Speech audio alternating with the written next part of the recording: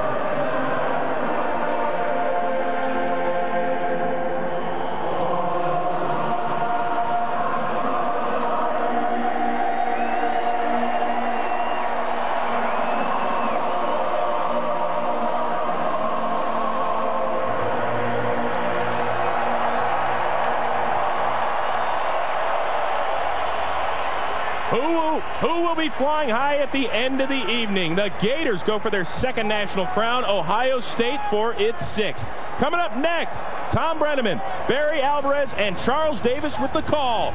Coming your way right after this.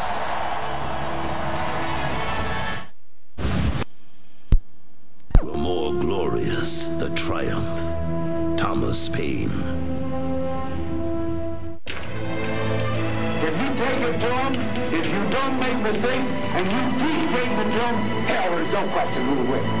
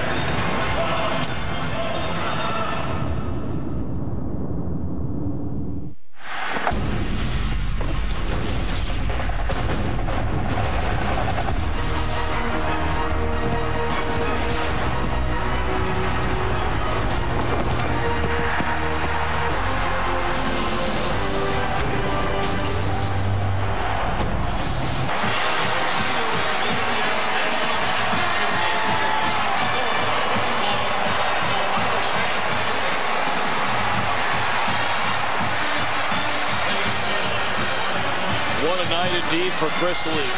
His final game at the University of Florida.